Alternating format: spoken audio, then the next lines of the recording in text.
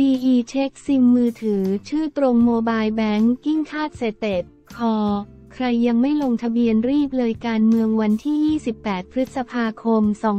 2567 12นาฬิกา 6 นาที DE ยันมาตรการซิมชื่อต้องตรงโมบายแบงกิ้งรอตรวจสอบ 106 ล้านบัญชีคาดเสร็จเดือนเนตคอ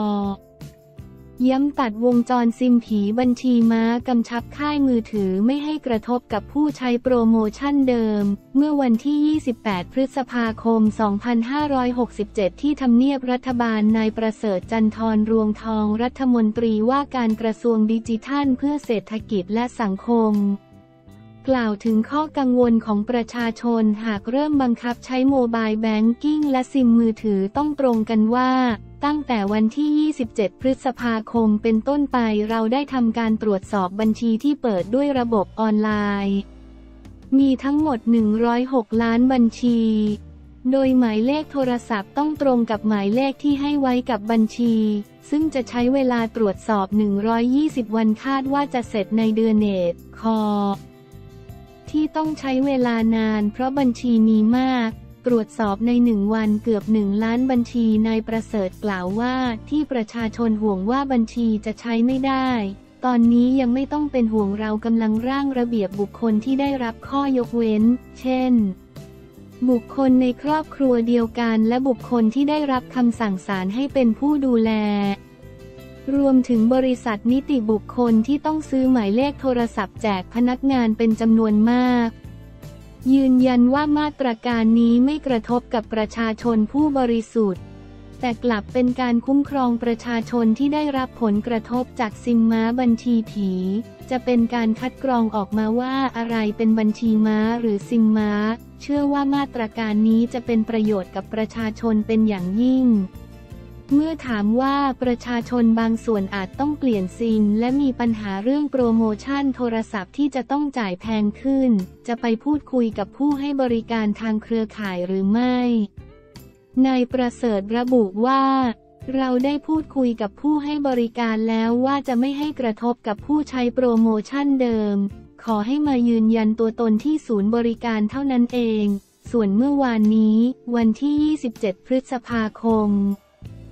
มีประชาชนไปขอเปลี่ยนซิมแต่ทำให้โปรโมชั่นที่ใช้อยู่แพงขึ้น ประชาชนจึงกังวลเรื่องการเปลี่ยนเบอร์ นายประเสริฐกล่าวว่าตนเข้าใจว่าผู้บริการน่าจะมีมาตรการรองรับ โดยกระทรวงดีอีและสำนักงานป้องกันและปราบปรามการฟอกเงิน หรือปองอ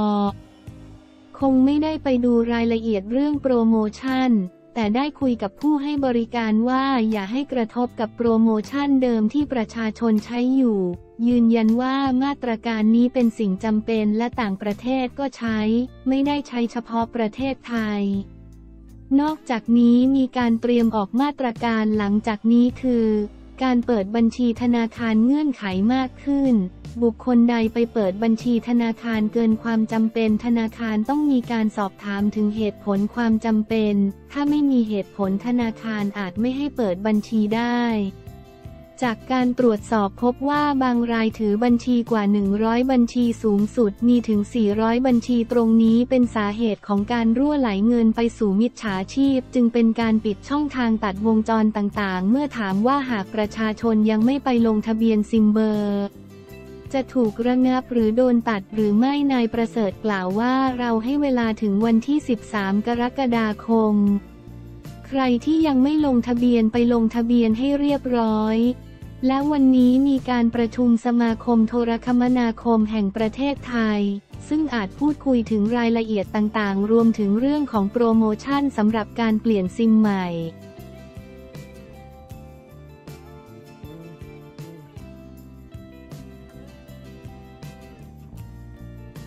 ระเอกดังเผยสัมพันธ์ชูชัยคนดังกับเครื่องเพชร 5,000 ล้าน อึ้งเค้กเล็กคาเท้าใจปั้มแจกเงินทั้งงาน บันเทิงวันที่ 27 พฤษภาคม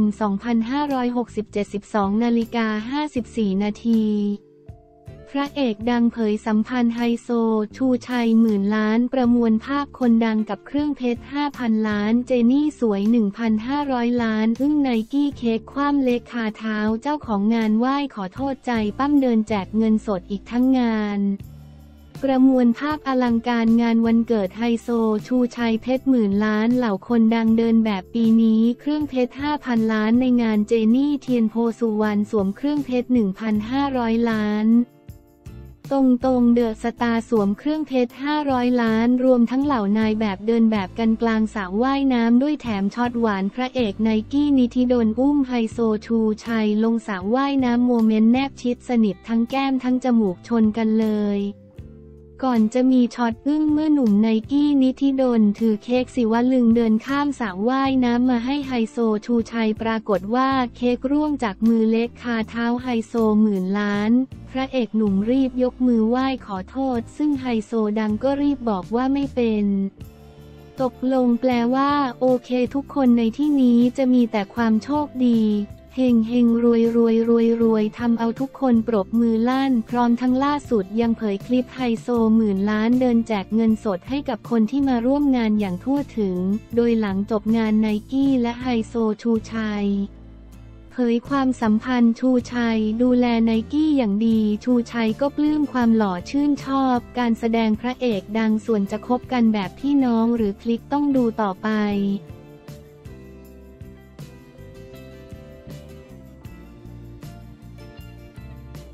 เศรษฐามั่นใจชวน วิษณุช่วยงานไม่กลัวถูกวางยาเสริมความแข็งแกร่งให้รัฐบาลการเมืองวันที่ 28 พฤษภาคม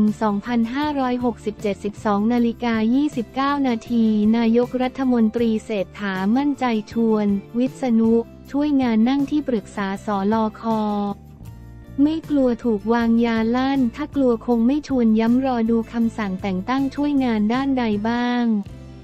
เมื่อเวลา 11 นาฬิกา 30 นาที วันที่ 28 พฤษภาคม